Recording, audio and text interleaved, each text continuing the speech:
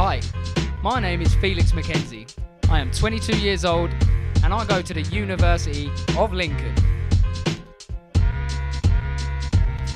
People often ask me what I've le- learnt at university.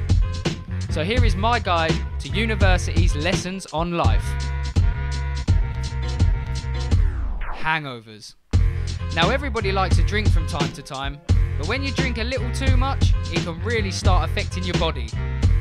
So, next time you're in your student union with four VKs in your hand, think to yourself, is that next tenner really worth it?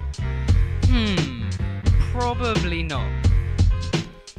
Now, I love video games, but when you're up to the crack of dawn running around San Andreas with a shotgun, your grades can definitely take a turn for the worse.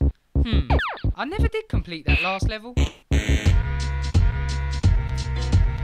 Everyone thought STDs were imaginary. Well, I did. Turns out they're not. Whoops. Think it's time to ring the clinic. Hello? Now, I like my liquor, but rest assured, if you drink too much too often, you will definitely get caught.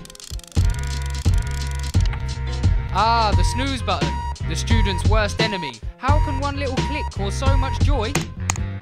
Yes, so much trouble.